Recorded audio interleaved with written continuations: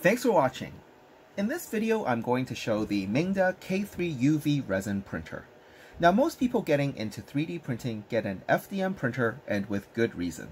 However, if you need to make small detailed objects like figurines, a resin printer might be the right tool.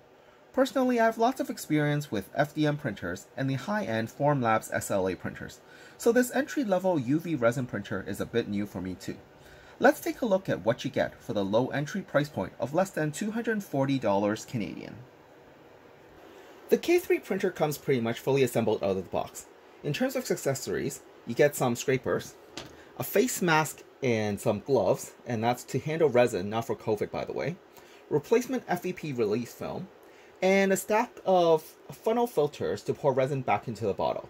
I do suggest spending a few bucks to get proper metal filter and a plastic funnel like this. Now, the only thing you need to do before starting to print is to confirm the build platform is level. To do that, you'll need a piece of paper. A four-year-old artistic masterpiece is optional. A blank sheet will work as well.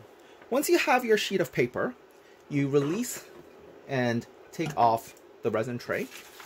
You put the sheet of paper here flat like this, and then you use the touch screen to move the print bed down to home.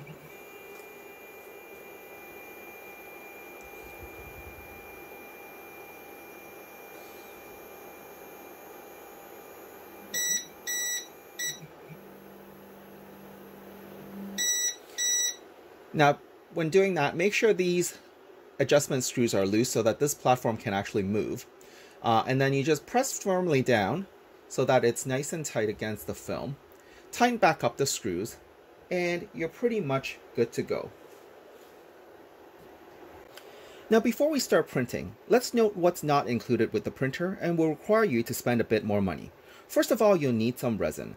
I opted for this water washable resin so I don't need to deal with alcohol, which is kind of like liquid gold these days. Next, you need a wash and cure solution.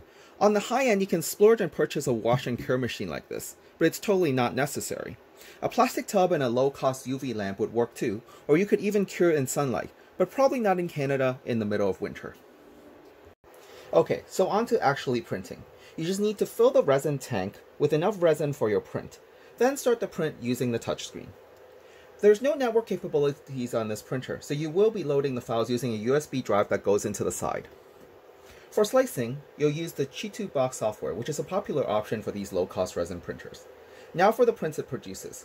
Keeping in mind I had no idea the proper setting for this printer, with this third-party resin, I printed a test file that came with the printer and has Mingda's default settings. It actually came out pretty well